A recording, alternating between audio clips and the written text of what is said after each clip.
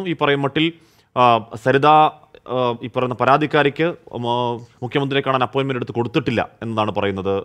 നന്ദകുമാർ അതേസമയം തന്നെ പിണറായി വിജയനുമായി സൗഹൃദമുണ്ട്. അക്കാലത്ത് പോയി കണ്ടിട്ടുണ്ട്. എ കെ സെന്ററിന് ഓപ്പോസിറ്റുള്ള ഫ്ളാറ്റിൽ പോയി പലയാവർത്തി കണ്ടിട്ടുണ്ട് എന്ന് പറയുന്നുണ്ട്. അതേസമയം തന്നെ കേരള ഹൗസിൽ വെച്ച് ഒരിക്കൽ കാണുമ്പോൾ വി എസ് അച്യുതാനന്ദന്റെ റൂമാണെന്ന് കരുതി പിണറായി വിജയന്റെ റൂമിൽ മുട്ടി വിളിക്കുമ്പോൾ ഈ പറയുന്ന പോലെ എന്താണ് കാണിക്കുന്നത്? എന്നാൽ ആ കൊറിഡോറിൽ വെച്ച് ചോദിച്ചിട്ടുണ്ട് എന്നതടക്കം കാര്യങ്ങൾ എന്തായാലും പറയുന്നുണ്ട്. C V V A Girish കുടിച്ചിരുന്നു. Girish C B ഐയുടെ ആ ക്ലോഷർ റിപ്പോർട്ട് പുറത്തേക്ക് വരുന്നു.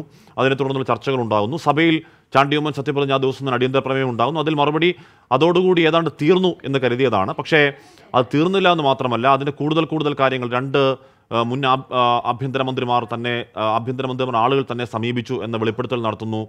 നന്ദകുമാർ എന്താണ് പിണറായി വിജയനുമായി സൗഹൃദമുണ്ട് എന്നടക്കമുള്ള കാര്യങ്ങൾ പറയുന്നു. ഫെനി മാധ്യമങ്ങളോട് സംസാരിക്കാൻ പോകുന്നു. ഒരിക്കൽ കൂടി സോളാർ സജീവ ചർച്ചയാക്കാൻ തന്നെയാണോ സി പി എമ്മിന്റെയും കോൺഗ്രസിന്റെയും ആലോചന? ഗിരീഷ്.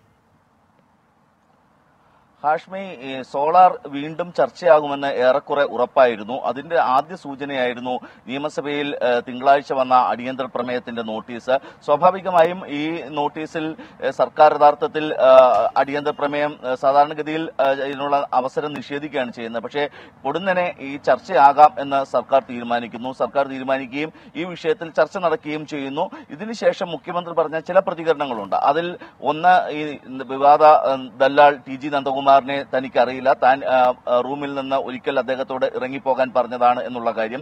അതോടൊപ്പം തന്നെ ഏതെങ്കിലും ഘട്ടത്തിൽ പ്രതിപക്ഷ നേതാവ് ആവശ്യപ്പെടുകയാണെങ്കിൽ ഈ അന്വേഷണ റിപ്പോർട്ട് ലഭിച്ച ശേഷം തുടരന്വേഷണത്തിന് സർക്കാർ സന്നദ്ധമാണ്. അതല്ലെങ്കിൽ അത് പരിശോധിച്ച് നടപടിയെടുക്കും എന്ന് മുഖ്യമന്ത്രി പറഞ്ഞിരുന്നു. സ്വാഭാവികമായും ഇത് സോളാർ വീണ്ടും കത്തും എന്നുള്ളതിന്റെ സൂചന തന്നെയായിരുന്നു ഈ കാര്യങ്ങളെല്ലാം തന്നെ. ഇതിൽ മുഖ്യമന്ത്രി പറഞ്ഞ ആദ്യത്തെ കാര്യം ടി ജി നന്ദകുമാറിനെ അറിയില്ല എന്നുള്ള കാര്യം അദ്ദേഹം ഇപ്പോൾ നിഷേധിച്ചിരിക്കുന്നു. മുഖ്യമന്ത്രിയുമായി അടുപ്പമുണ്ട്.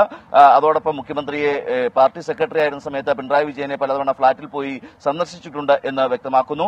അതോടൊപ്പം ദില്ലിയിൽ വെച്ച് ഒരിക്കൽ താൻ ഹാഷ്മി പറഞ്ഞ പോലെ മുറിയിലേക്ക് മാറിക്കയറാൻ തുടങ്ങിയപ്പോൾ താങ്കൾ എന്താണ് കാണിക്കുന്നതെന്ന് ചോദിച്ച് മുഖ്യമന്ത്രി ക്ഷമിക്കണം. അന്നത്തെ സംസ്ഥാന സെക്രട്ടറി പിണറായി വിജയൻ തന്നെ പറഞ്ഞു വിട്ടു എന്നും നന്ദകുമാർ പറയുന്നുണ്ട്. സ്വാഭാവികമായും പിണറായിയുമായി അടുപ്പമുണ്ട് എന്ന് നന്ദകുമാർ പറയുമ്പോൾ ഇതിൽ ഏത് തരത്തിലുള്ള അടുപ്പമാണ് ഉള്ളത് എന്ന് വ്യക്തമാക്കേണ്ടത് മുഖ്യമന്ത്രിയാണ്. മാത്രമല്ല ഇത് വലിയ തരത്തിൽ ചർച്ചയാകുന്നത് രാഷ്ട്രീയ കേരളത്തിൽ ചർച്ചയാകുന്നത് നേരത്തെ തന്നെ ഉയർന്ന ചില ആരോപണങ്ങളുടെ കൂടി അടിസ്ഥാനത്തിലാണ്. ഉമ്മൻചാണ്ടി മുഖ്യമന്ത്രിയായിരുന്ന സമയത്ത് അദ്ദേഹത്തിനെതിരെ ഗൂഢാലോചന നടത്തിയിട്ടുണ്ട്. കോൺഗ്രസിൽ നിന്ന് ചിലർ എന്ന ആരോപണം ഏറെക്കുറെ കഴിഞ്ഞ ദിവസങ്ങളിലെല്ലാം സജീവമായിരുന്നു. നിയമസഭയിൽ കെ വി ഗണേഷ് കുമാറും അതോടൊപ്പം തന്നെ പിന്നീട് സംസാരിച്ചവരെല്ലാവരും തന്നെ സി പി എമ്മിൽ നിന്ന് സംസാരിച്ചവരെല്ലാവരും തന്നെ കോൺഗ്രസിൽ നിന്ന് വലിയൊരു ഗൂഢാലോചന ഇതിന്റെ പിന്നിലുണ്ട് എന്ന ആരോപണം ഉന്നയിക്കുകയും ചെയ്തിരുന്നു. അത് ഏറെക്കുറെ ശരിവെക്കുന്ന തരത്തിലാണ് ഇപ്പോൾ ടി ജി നന്ദകുമാറിന്റെ ഈ വെളിപ്പെടുത്തൽ വന്നിരിക്കുന്നത്. ഇക്കാര്യത്തിൽ കോൺഗ്രസിൽ ഒരു വലിയ തരത്തിലുള്ള പൊട്ടിത്തെറി അല്ലെങ്കിൽ ഒരു വിവാദം കോൺഗ്രസിനുള്ളിൽ തന്നെ ഉണ്ടാകുമെന്ന് ഏറെക്കുറെ ഉറപ്പാണ്. കാരണം രണ്ട് മുൻ ആഭ്യന്തരമന്ത്രിമാർ അത് പേരെടുത്ത് പറയുന്നില്ല എങ്കിൽ പോലും ഈ രണ്ടായിരത്തി പതിനൊന്ന് മുതൽ ഒരു കാര്യം ഉറപ്പാണ്. ഇവിടെ ഇവിടെ ഒരു പ്രേക്ഷകൻ പറഞ്ഞ കമന്റ് ഇങ്ങനെയാണ്.